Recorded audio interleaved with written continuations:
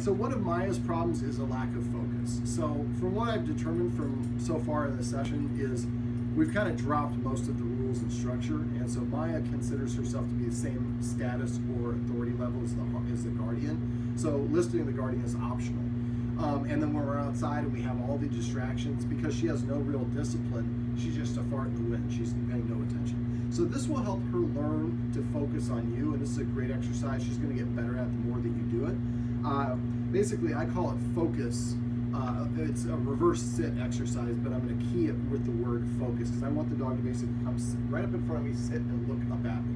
So then eventually, at first what we're going to do is we're going to practice here in the basement. Uh, but eventually the guardian is going to start practicing in the backyard and then the front yard and then on walks or if she's a walking and there's another dog walking across the street, you can stop and do this exercise in front of somebody's house. You just all sorts of crazy places. Now the key is we want to start out by doing it in a real easy situation like this. Then we're going to gradually increase the level of uh, distractions. But a lot of people do inside once and then they go to like a parade or a park. It's way overwhelming. It's too much for the dog to deal with. So what I do is I have the leash attached to my belt here in front and I want to keep uh, uh, the bend of this between my knees and my and my hip, uh, and my ankles. So I don't want the dog to get tied up on it. This might actually be too much. So what I'm going to do is I'm going to, uh, when you're doing this, it's important to keep your hands here together. You, can be like this, you can be like this, but you you don't want them drifting like this. When when I'm offering the treat, it's going to do boom. I'm going to do it very fast. That treat delivery speed is really important. So I'm going to show you a three second delivery. It's about three seconds. That's pretty fast. Maya. That's the delivery speed I'm looking for, about a third of a second. So uh, you can see now she's already focusing looking here. Maya. So I'm going to lure her back into position I want. Focus. All right, so I'm going to put my back to the camera. We're going to walk that way. You can stay there, but as we start coming, you might, the camera might need to move. So Maya, this is how I get her here. I lure her with the treat. Put her in a sit. I'm going to readjust the leash so it's not flopping up. Focus. Now I would start out with a handful of treats in, in your offhand. Maya. And when you move backwards, you want to move three steps and move very quickly. Maya. Focus. So as soon as she's in the right position, I'm giving delivering that treat. Why don't you step back over here? Maya. Focus. Maya.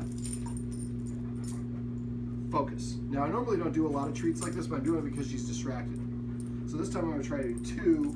Maya. Focus. Focus.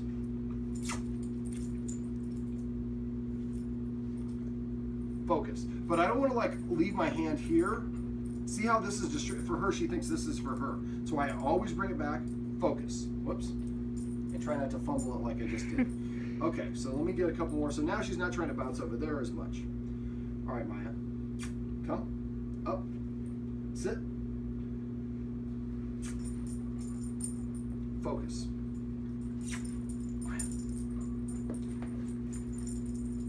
Focus. Now that time I left the treat out in front to kind of guide her to where I want her to go.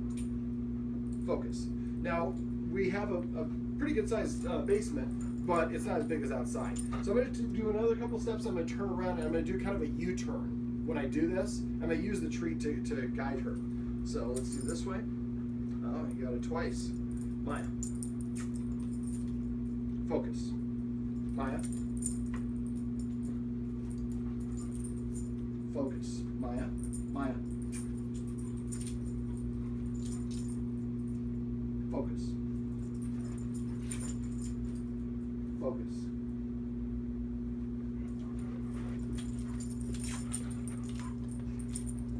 Focus. So she's a little bit all over the place because she's never done this before. She's like, I got my treat and I'm ready to go do something else.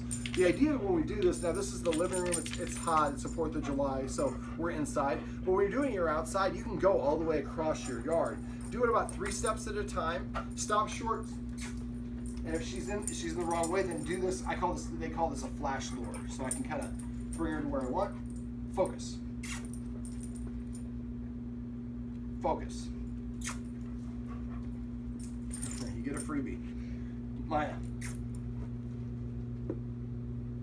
Focus. See how her focus, she's focusing at me? Now we're delivering, we're giving an obscene amount of treats, which is fine because that's what we want to do. I'm going to do one more little run and then we'll call it on this one. Maya.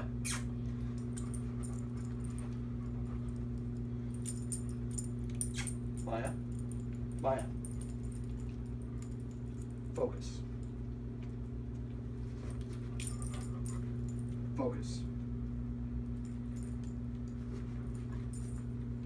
Focus.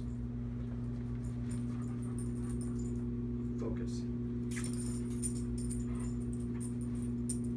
Focus.